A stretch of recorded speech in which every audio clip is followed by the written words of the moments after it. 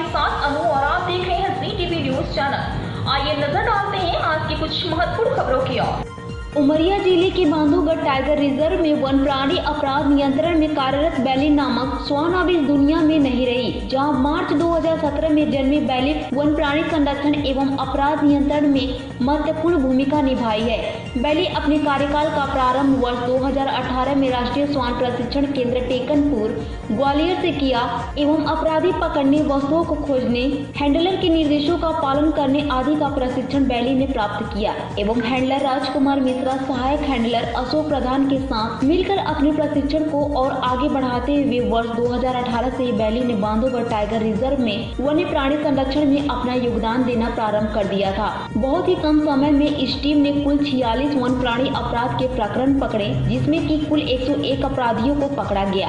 बैली ने कई स्वर्ण प्रतियोगिताएँ भी जीती हैं, एवं दिनांक 23 दिसंबर को बैली अपने इस अभूतपूर्व योगदान के बाद हम सबके बीच नहीं है। इस योगदान को याद रखते हुए बांधवगढ़ प्रबंधन द्वारा बैली को राजकीय सम्मान के साथ अलविदा कह दिया। एवं संबंधित अधिकारियों की मौजूदगी में पुलिस लाइन में राजकीय सम्मान के साथ डॉग बैली का कफन दफन करते हुए अंतिम संस्कार किया गया है। पेश उमरिया ऐसी शंकर सिंह की खास रिपोर्ट। के बहुत बड़ी क्षति क्योंकि ये हमको शिकार जो ट्रैक करने में जो भी घटनाएँ होती उसको ट्रेस करने में बहुत मदद मिलती थी। ये हमारे लिए बहुत बड़ी क्षति है। शायद एमपी में इससे अच्छा डॉग नहीं था फॉरेस्ट विभाग के पास। कितने अभी तक? 86 केसों को इसने सॉल्व किया है जिसमें इसकी एक्यूरेसी 95 परसेंट से ज़्यादा है और शाम के समय उसको फीवर था दस वो फ़ील्ड से आई थी वो। चेक करके फिर शाम के समय दसक बजे उसको बहुत तेज बुखार आया तो उसको उमरिया लेके आए थे। इलाज के दौरान दो बजे भी नहीं बच पाए। ये जो वन विभाग की डॉग हमारी जो बेली है काफ़ी सक्षम डॉग है। परफॉर्मर डॉग रही है जितने भी ट्रेनिंग्स पे गई है अव्वल दर्जे में रही है। इस ज़िले में ना ही वन विभाग, बल्कि दूसरे विभागों में जो केसों की सुलझाने में मदद मिली है, उसमें भी इसने काफ़ी काम किया लगभग छियासी केसों में इसका प्रयोग किया गया, जिसमें से अड़तीस आपराधिक मामलों में सक्सेस मिली पुलिस विभाग को और वन विभाग को। आज पुलिस अधीक्षक मैडम के सहयोग से हमने इसका जो अंतिम राइट्स है, वो उसको हमने अच्छे से किया।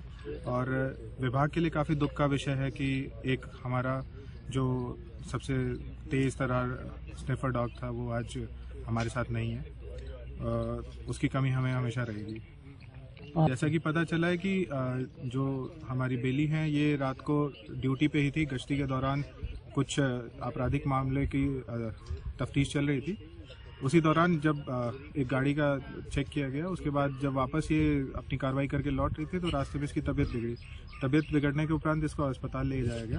अस्पताल में विधिक कार्रवाई के बाद डॉक्टर साहब ने इनको मृत घोषित किया गया। उसके बाद इनका जबलपुर में पीएम के लिए इनको जबलपुर के लिए भेजा गया। अभी रिपोर्ट अग्रिम कार्रवाई है तो आने में फिर हम आपको सूचित करेंगे। Rajkumar Mishra, dog handler, dog valley का अभी 21 तारीख को रात को डॉग अपना एक्सपायर कर गया यहाँ पे।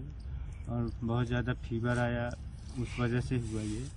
और सबसे बड़ी बात ये था कि जिस दिन इसका डेथ हुआ, उसी दिन इसने एक सुअर शिकार का केस में अपराधी भी पकड़ के आई थी। शाम को ये अपराधी पकड़ के आई, रात में 10 बजे फीवर हुआ और इसका डेथ हो गया। और ये डॉग मेरे पास लगभग छः साल से है। इसका ट्रेनिंग मैं बी बीएसएफ टेकनपुर में किया था। और टेकनपुर में पूरे मेरे बैच में डेढ़ सौ डॉगों में इसने टॉप किया था।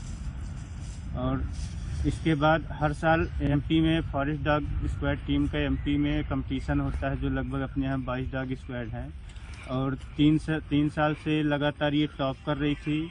और इसके जितने भी केसेस थे, बेस्ट परफॉर्मेंस थे लगभग आपराधिक प्रकरण तो इसका अड़तीस ही था और अड़तीस में इसने पैंतीस प्रकरण को सॉल्व किया था और टोटल लगभग छियासी केसों में ये गई थी।